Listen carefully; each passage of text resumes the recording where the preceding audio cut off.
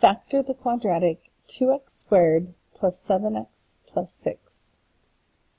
Since there's a coefficient in front of the x squared, you have to make a rainbow and multiply the 2 times the 6. 2 times 6 is 12. So the 12 is going to go in the top of our diamond, and the 7 is going to go in the bottom. So what two numbers multiply to get 12 and add to get 7? That gives us 3 and 4. So now it's time to put the terms into the box. We notice that we have three terms, but we have four spots in our box. First we place the 2x squared and the 6.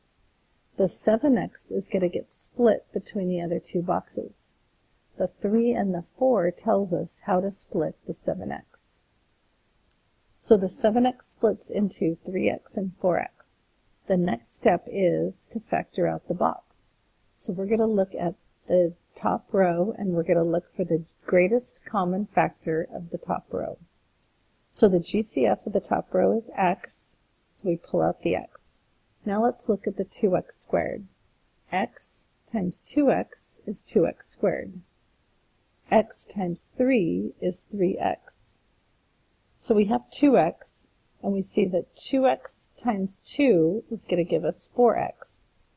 And 2 times 3 is 6, so it works. So we've factored our quadratic into x plus 2 and 2x plus 3.